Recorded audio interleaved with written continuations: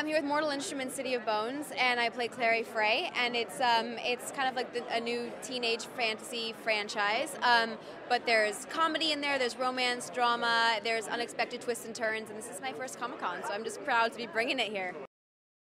It's been wild. I think it's pretty much absolute madness driving amongst the fans, like, you know, knocking on our windows dressed as characters. It's like, where in the world do you get to see that? They want pictures of us where I want pictures of them. I mean, like, you guys are cooler than, than we are. Uh, no, it's fun though. I'm really proud to be here. I'm excited. I'm nervous. I'm everything. I think they're going to come away with an unexpected story that maybe they're they're not used to seeing in a teen franchise. We deal with a lot of topics that haven't really been dealt with before.